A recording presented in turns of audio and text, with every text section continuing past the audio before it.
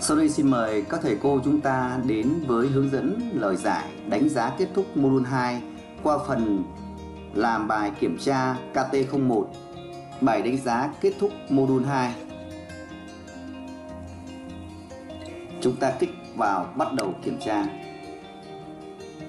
Trong phần bài kiểm tra đánh giá kết thúc module 2 này chúng ta sẽ gồm có 6 câu hỏi. Ở câu hỏi thứ nhất, điền từ thích hợp vào chỗ trống theo thứ tự. Thì ở đây theo thứ tự chúng ta sẽ điền đó chính là từ giao tiếp số, năng lực số, thứ ba là bảo mật và riêng tư số.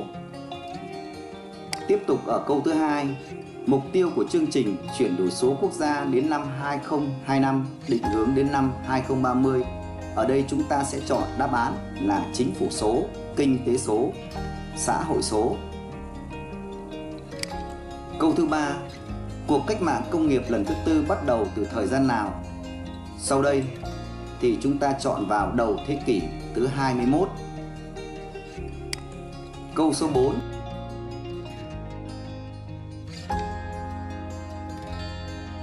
năng lực thành phần giải quyết vấn đề trong môi trường số theo khung cấu trúc năng lực số cho học sinh phổ thông Việt Nam thì chúng ta sẽ lựa chọn vào các đáp án tìm ra giải pháp công nghệ số phù hợp với nhu cầu, tư duy thuật toán trong xử lý vấn đề thứ ba là sử dụng công nghệ số để cải tiến sản phẩm, cải tiến quy trình như vậy, ở đây là một câu hỏi có nhiều đáp án đúng chúng ta sẽ lựa chọn 3 đáp án như ở hình bên trên.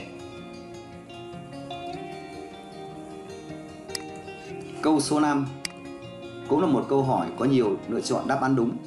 Hệ sinh thái học tập số giúp người học phát triển năng lực số cần những yếu tố nào sau đây thì chúng ta sẽ chọn những yếu tố là môi trường học tập số, các giải pháp tốt, ứng dụng tốt, phương pháp học tập, mô hình dạy học phù hợp và hạ tầng mạng Internet ổn định. Thứ tư là quản trị dữ liệu học tập trên nền tảng số, lưu vết và đánh giá. Cuối cùng là câu hỏi số 6. Theo UNESCO, năng lực số là tổng hợp của những năng lực nào sau đây thì chúng ta sẽ chọn những năng lực như là năng lực truyền thông, năng lực sử dụng máy tính và năng lực công nghệ thông tin. Cuối cùng là năng lực thông tin. Sau khi các thầy cô chúng ta hoàn thiện lựa chọn 6 câu hỏi thì chúng ta sẽ tích vào nút nộp bài.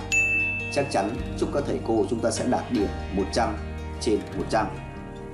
Xin chân thành cảm ơn các thầy cô đã theo dõi, hướng dẫn lời giải qua video.